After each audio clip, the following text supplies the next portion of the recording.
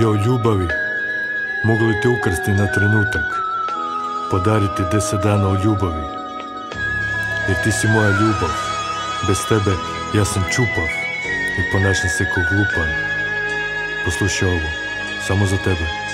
Je da uzmem sve lirike sa domaće estrade I ljude što djecu rade I pomnožim ju sa šade Ne bi dobio ljubav ono koje ti srce krade. Dobiš veliki mural s tvojim imenom sa fasade Kad odrepam u huku Dobiš ko ljubavnu poruku. Iskreno kao zave što si stavila na ruku Znam da imaš muku na poslu Da ne radimo bar I pitanja uvijek par Al ovo je tebi dar. Prvi dan se budimo Uz doručak i sunce Našu ljubav ne mogu brojni ni kilogrami ni unce Započnemo dan u našem ljubavnom gnjezdu Prstima ti polako po leđima crtam zvijezdu I srce i trak rose dok ti milujem tijelo. Ljubim ti rame dok se ugrijava cijelo I tako do drugog dana. Ljubav bez mana, ne sa malog ekrana Već ravno iz našeg stana. Prvi dan je proljeće, jedemo se očima vruće ljeto, ne spavamo noćima. Treći samo ljubav kao četvrti i peti. Šesti dan smo dosadni, visimo ko portreti. Sedmi dan je jesen, suza kao kiše. Osmi dan je tuga, ne volimo se više Deveti je zima, zapalili smo raj. Deseti je hladno, jedanajsti je kraj. Drugi dan se ponovo učimo ljubit. Smijemo se kod djeca jer nemamo šta za izgubit. Dan treći, prepustam sreći. Ti me nameći jer kak zgledaš u krevetu ne bi mogo poreći.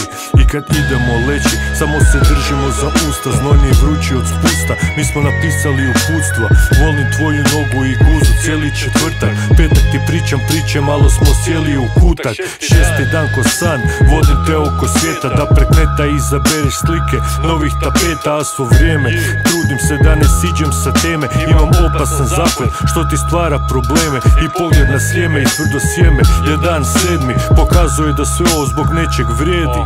Na broju do osam, pokazat ću ti baby ko sam A to da sam zaljubljen u tebe je istina što sam. Prvi dan je proljeće, jedemo se očima Drugi vruće ljeto, ne spavamo noćima Treći samo ljubav kao četvrti i peti. Šesti dan smo dosadni, visimo ko portreti Sedmi dan je jesen, suza kao kiše Osmi dan je tuga, ne volimo se više.